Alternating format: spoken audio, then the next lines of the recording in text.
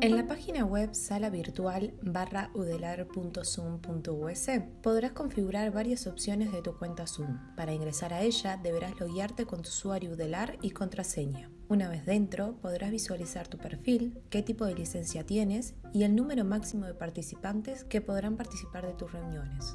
Luego, si ingresas al menú Reuniones, podrás visualizar las próximas reuniones que tienes agendadas, las anteriores y también podrás programar una nueva reunión. En el menú Grabaciones accederás a las grabaciones de reuniones pasadas que quedaron guardadas en la nube de Zoom. Te permitirá descargarlas y compartirlas. En la pestaña de grabaciones locales verás las grabaciones que ya has descargado en tu computadora y la carpeta donde fueron guardadas.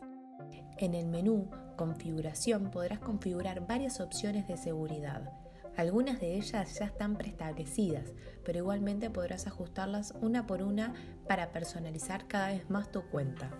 Dentro de este espacio también encontrarás la opción Notificación por correo electrónico. Entre las posibles notificaciones existentes, puedes configurar, por ejemplo, la posibilidad de recibir una notificación cuando una grabación ya esté disponible para ser descargada desde la nube de Zoom.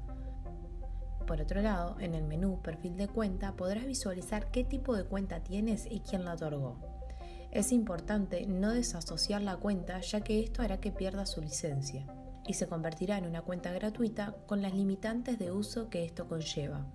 El último menú denominado Reportes te proporcionará informes de uso y de las reuniones realizadas. En la opción Reunión verás los informes de registro y de votación de las reuniones. Y en la de uso, Zoom proporcionará un listado con todas las reuniones mantenidas en un rango de tiempo específico. Será posible exportar los listados de participantes, como en este ejemplo en el que fueron seis participantes. Al hacer clic sobre el número de la participación verás la lista de participantes y tendrás la posibilidad de exportarla en formato Excel.